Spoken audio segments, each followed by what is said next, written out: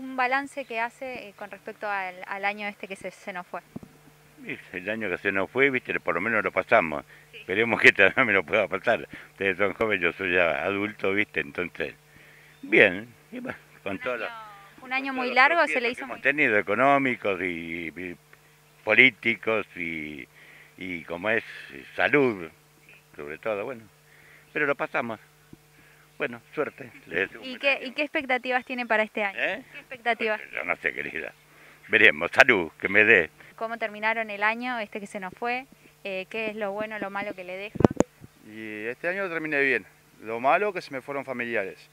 Y lo bueno que los que estamos estamos bien. ¿Qué expectativas tenés con este próximo, bueno, este año que, que ahora estamos concurriendo? Si Dios quiere conseguir trabajo, que me quedé sin trabajo, pero tratamos de salir adelante.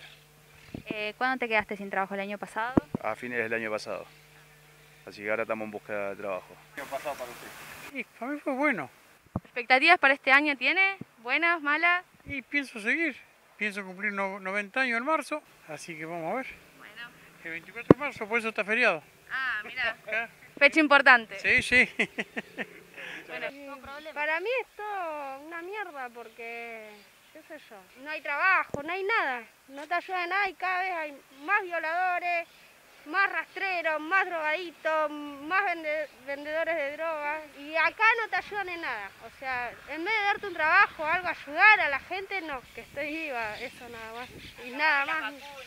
Supuestamente con las vacunas ya estaba. Y ahora salió otra vacuna que no la conoce nadie y te dan turno cuando se les antoja a ellos. No sé para qué, no sé para qué tantas vacunas. Y que venga un año mejor, con trabajo, gente más buena y bueno. Y que no haya tantos policías corruptos. Eh, en una palabra me podría decir cómo fue el año pasado.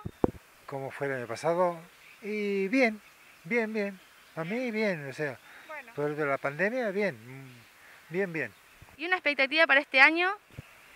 Y bien, ¿no? que sea mejor y que pase de todo y que, y que se respete eh, un poco la- el tema de la pandemia, los distanciamientos, que hay mucho amontonamiento y no se está respetando eso. Yo lo respeto a full, pero ese tema, ¿no? Y que muchos veo negocios abiertos de confitería y eso que no debería estar, o sea, con medidas sí, pero ese tema, ¿no?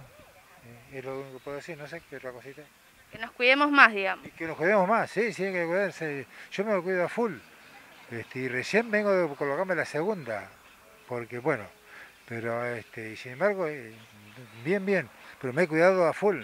No, no, no tengo contacto con nadie, no tomo mate con nadie, solamente yo y mi señora, pero solo, solo, o sea, eh, eh, o sea, que nadie sabe la gravedad del problema que hay, porque yo también entiendo algo, pero es, es grave lo que pasa y nadie eh, no, no toma conciencia bien de lo que hay que tomar. Sí, sí, sí. Hasta que pase este, todo, bueno, vamos a volver a la normalidad, pero tenemos que cuidarnos, dejar de, qué sé yo, de juntarnos, ir de vacaciones, juntarnos en la playa. Yo no conozco lo que es Mar del Plata, como quien dice, bueno, por ahora no, pero eh, no iré no sé cuándo, un suponer.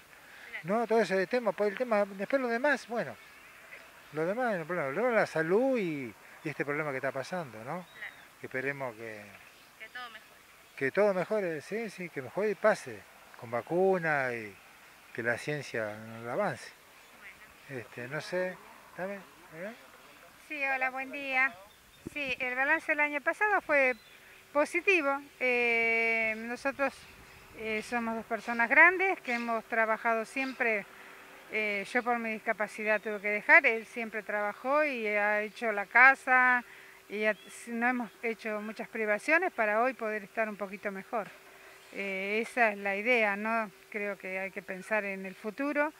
Y bueno, nosotros ya estamos grandes y venimos de vuelta, pero gracias a Dios estamos con un buen año y esperemos que este año también, por lo menos tranquilos y con salud, que tengamos salud, que tengamos seguridad también y, como dice él, cuidarnos porque esta pandemia no- nos, nos azota a todos y nadie está libre de esto y bueno, eh, cuidémonos para que eh, no lleguemos a tener un desastre en Cañuela.